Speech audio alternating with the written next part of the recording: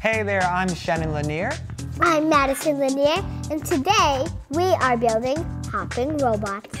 Okay, step number one, we're going to take this 9 volt battery snap and connect it to the motor post. Put it in there, and now twist it. Now we're gonna make it stay in place by putting the tape on it, okay? Step number two, are you ready to use the glue gun? Yes. Okay, you're gonna use the hot glue gun, put some dots there, and we're going to glue the 9 volt battery on top of the motor. There you go, there it comes, more. What do we do next?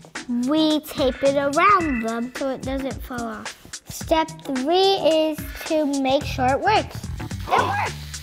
Okay, step number four, we're going to cut three different half inch sections of this PVC pipe, okay?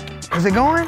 All right. Step number five, we're going to cut about one third of these off, so about that much there. And that is going to give us our whegs, which are like wheels and legs. All right, step number six, what do we have to do? We have to put lines of hot glue. We gotta help give this robot some traction so it can hop. All right, step number seven, Madison. We are going to break off an inch and a half of these popsicle sticks. Step number eight. We need to glue this to the popsicle sticks. Okay, we're gonna put glue on the popsicle sticks and glue them to the motor shaft, okay? okay. Step number nine, Madison. Gluing the legs to the popsicle.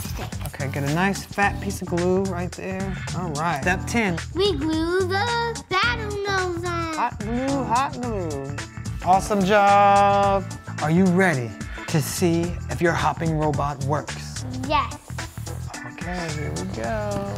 All right. It works. Go, go. Oh, oh, oh.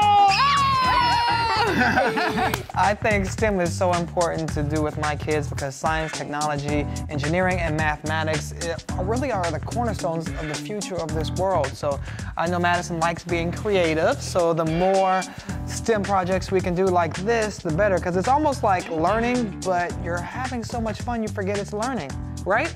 Right. That was pretty cool, wasn't it? Yeah. Thank you. You're welcome.